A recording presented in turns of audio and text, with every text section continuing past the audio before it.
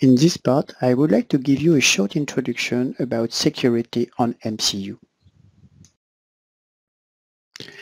Let's start with the definition of security, and you can find it in Wikipedia. Security is a degree of resistance to or protection from harm. It applies to any vulnerable and valuable asset, such as a person, dwelling, community, nation, and organization. What is important in this definition is the fact it's a degree of resistance. It can't be an absolute protection. Think about this. And then we've got this word asset. Let's try to define what is an asset. In fact, an asset is what you want to protect, but you want to, to protect it because it's valuable for you. But it could be whatever is valuable for you. So it could be an information, it could be a capability, it could be a feature, it could be technical resources. In the case of the MCU, it could be some software resources, some access to the device, and such kind of things. So in fact, as asset is many things, and you have to identify this asset inside your product and the ecosystem associated to your product.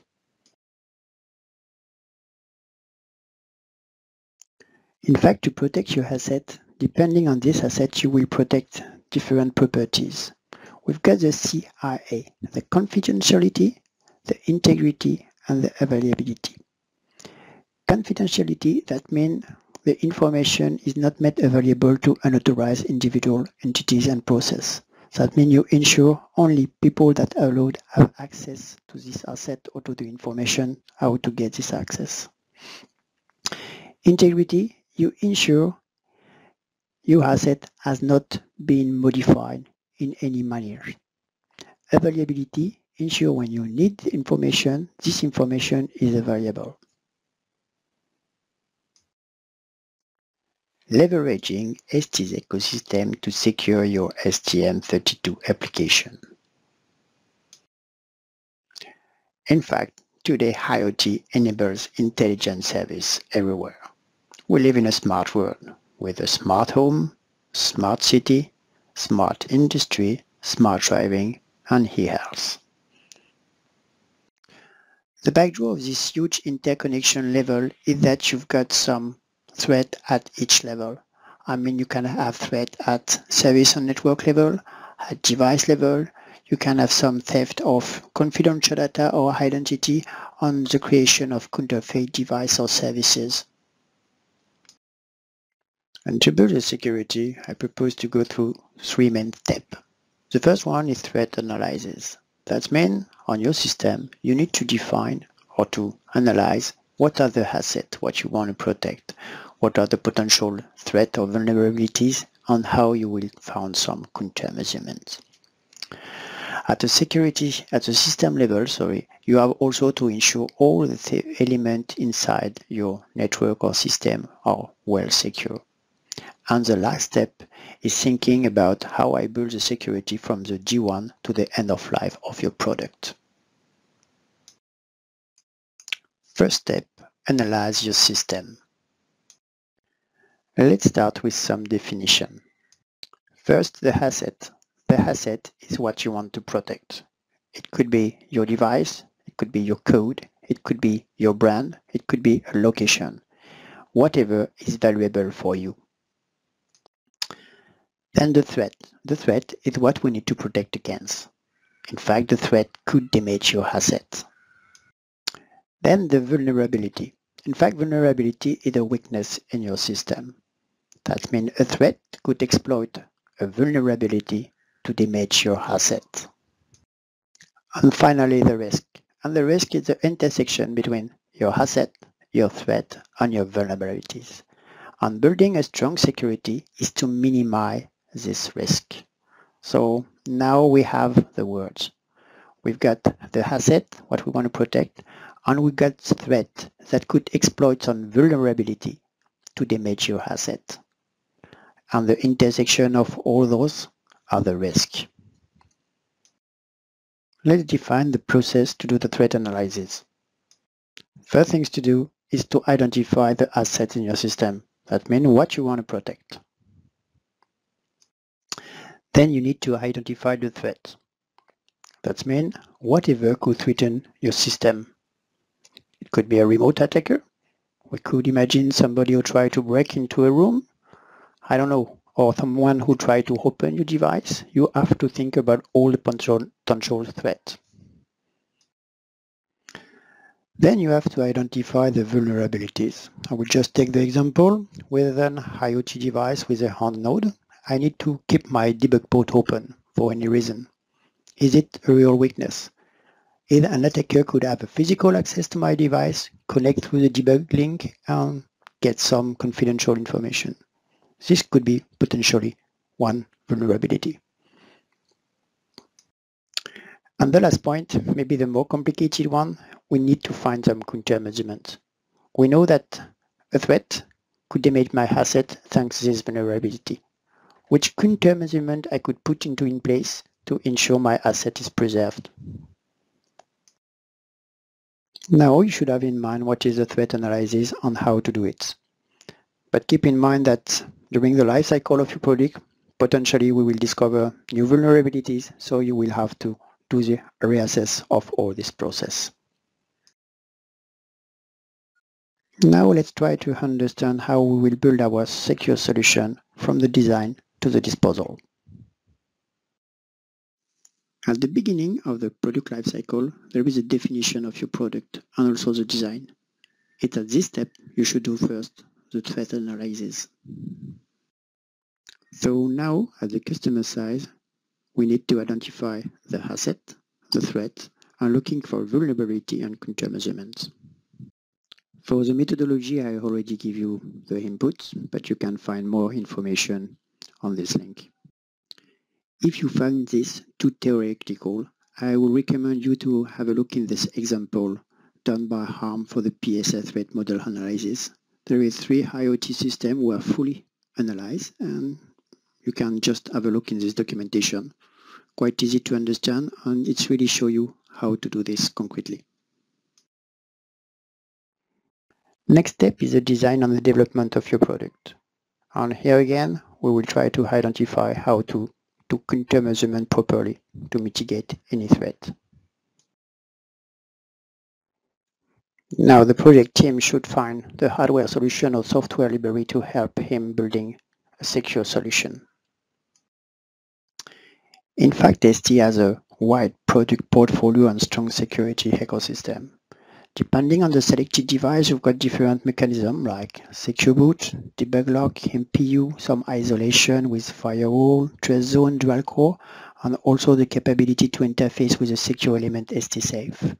This is for the hardware resources. We also provide you some software resources with some Xcube CryptoLib, the SBSFU example, the PSA-TFM on the L5 specific, some fast ROM or programmation services, and secure firmware install. You can find many details about this in our site in the STM32 Trust. And also you can have a look in our security MOOC, which are also available on our site. So building the security with STM32 could be combined with ST-Safe.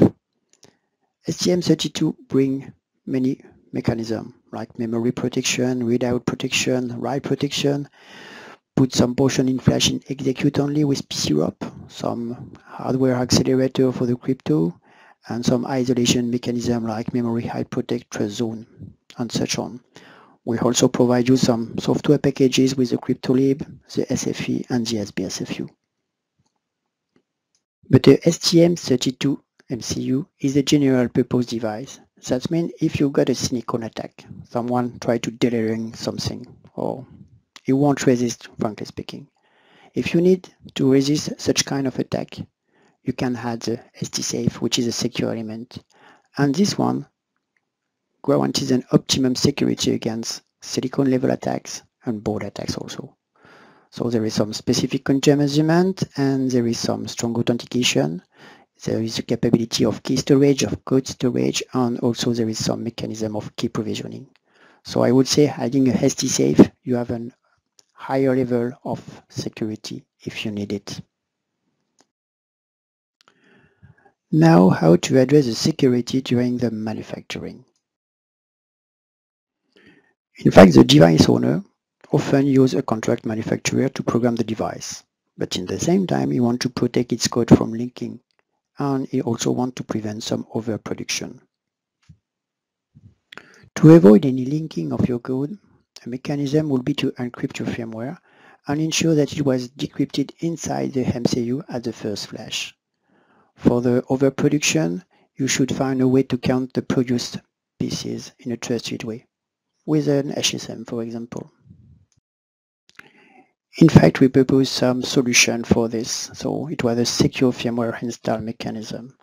You can see here the different documentation and also you can go on our site. You will have detail about this mechanism and how it preserves the confidentiality of the code and also to prevent the overproduction.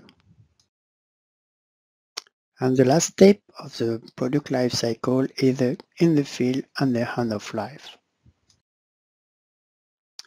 In this context, the device owner wants to ensure about the authenticity of the firmware that is running on this device.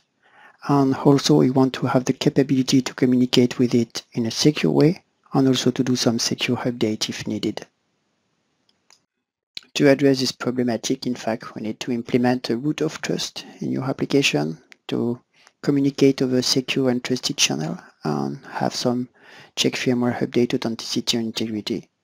If you are a little bit familiar with security, it's what we often call a secure boot and a secure firmware update.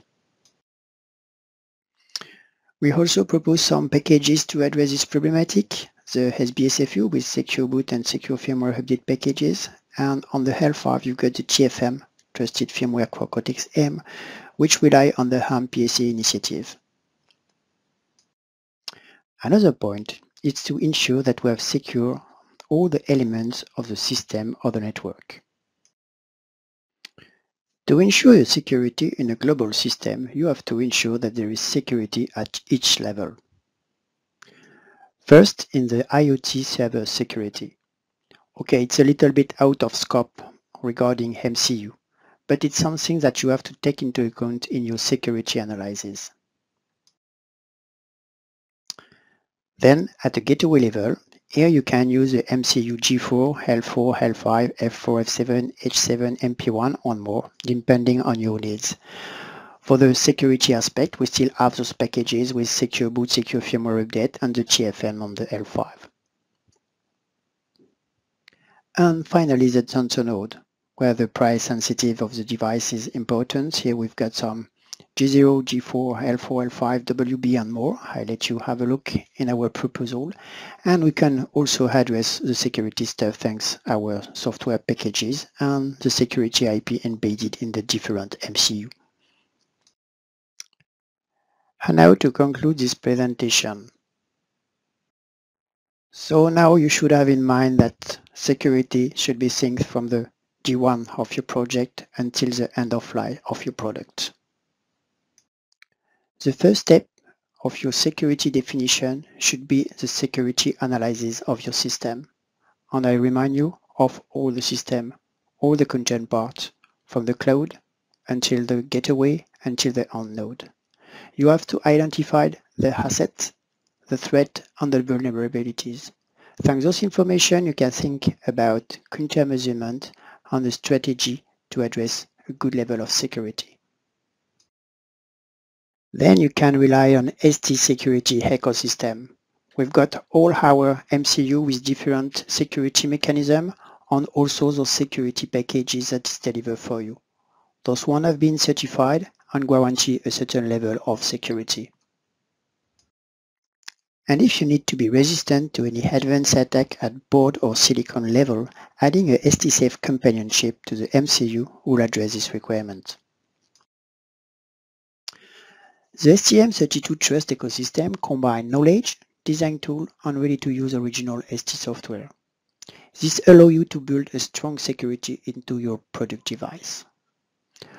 All the related resources are now in one place, www.st.com slash stm32trust. I hope you enjoyed this presentation and thanks for your attention.